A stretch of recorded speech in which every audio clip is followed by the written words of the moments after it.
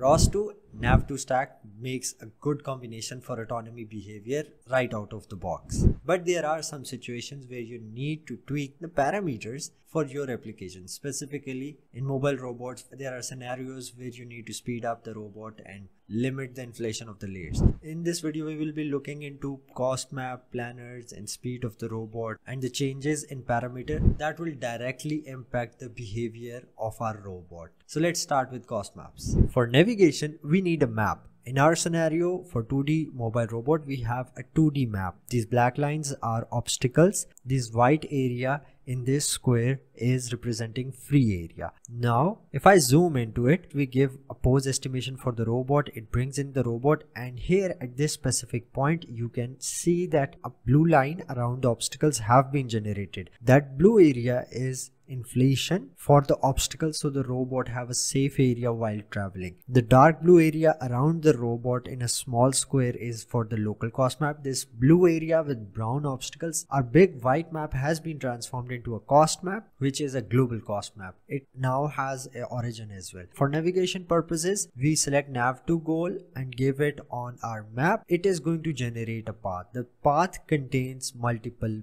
pink arrows which help the robot to navigate but the important point you need to look at is this path is generated while considering this blue area around the obstacles. Currently the robot is not moving. There can be many reasons. One simple problem would be the size of inflation layer in the local cost map. For now the robot started to move but it got stuck in the first place in a pink area around the wall that is the part of inflation layer we will understand what the problem is. But currently the robot is not moving and it is inside of a recovery behavior. Whenever the robot is unable to find the path or it is unable to follow the path. In both of the scenarios, it is going to fall into recovery behaviors, which is sort of a backup behavior of the robot to move a little bit backwards or rotate and find the path again. But in our scenario, it is not going to be able to get to the path back because the inflation radius is so high for the walls and the walls are really close that they are overlapping. And there is no possibility that the planner is going to make the robot move from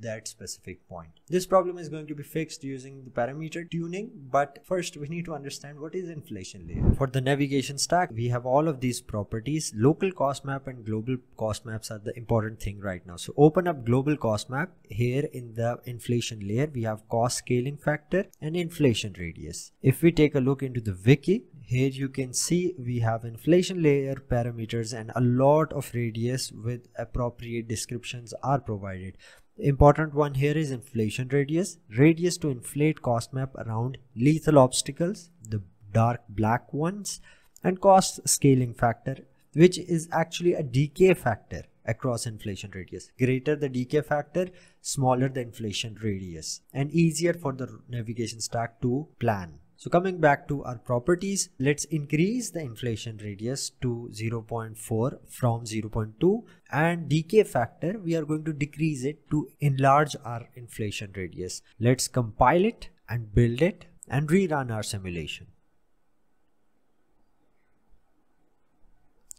The first thing, give a pose estimate for our robot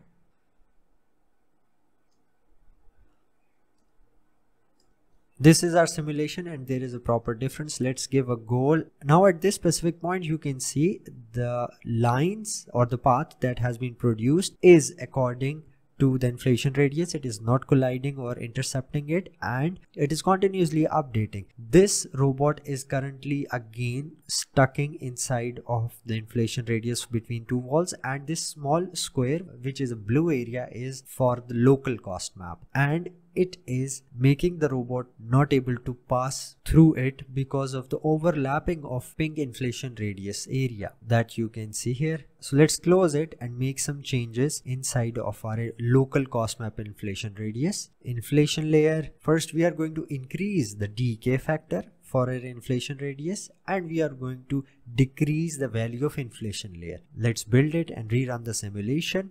Give a pose estimate and give a goal to the robot. Let's now zoom in and you can see the inflation radius for the local map the small square is now reduced to very appropriate value and the robot is passing through the same area which it was not able to pass previously In respect to the parameter tuning of cost maps, you have to be very careful about the size of the cost map. Global cost map should be equal to the size of the total map, but local cost map should not be bigger than that or very much big that it is just a memory constraint. So you have to pick it very wisely about your requirements and application you are working on because we don't want to have global and local of the same size. Otherwise, there would be no use of one another. So once appropriate size is decided, we will move towards planners. And the planners are again an important decision because we have to think about how much far ahead should we be planning and updating at what speed. So let's take a look on the parameters for planners. When you see a robot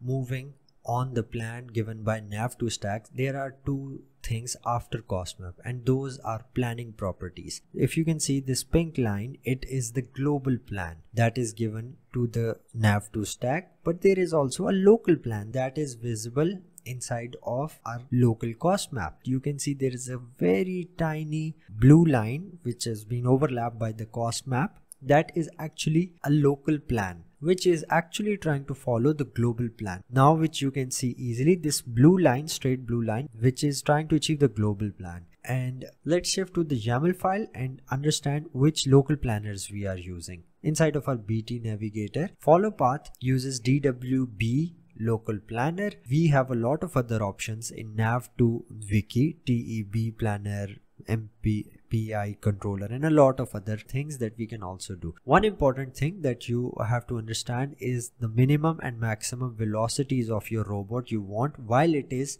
performing the autonomous navigation to the goals. Let me increase all of these velocities to a quite high value. The result is going to be really interesting. Let me build this and rerun it. Let me give the goal and now you will see the response the robot is moving very fast and it is colliding and you can see the local planner is trying very hard to get to the global plan and it has collided with the wall. The very first time when I saw the simulation, I thought that this is just plug and play and we have to set the location and give a goal and the robot automatically moves. That is the case, but if you are doing a project for yourself or a company, you have to think about tuning certain parameters for their requirements. And for that, you need to understand how the parameters are directly affecting the autonomous behavior of your robot. So we have explored a robot that was not passing through a certain area and with the parameter tuning, uh, setting the inflation radius, the robot was able to do that. And depending upon the requirement of the speed, we fix the speed and the size of the cost map for the memory efficiency. So there are a lot of parameters that I have not gone through but ROS2 nav2 wiki is there for your help give you better understanding what are the definitions of these parameters and how they're going to affect and as it is open source you can look at the implementation as well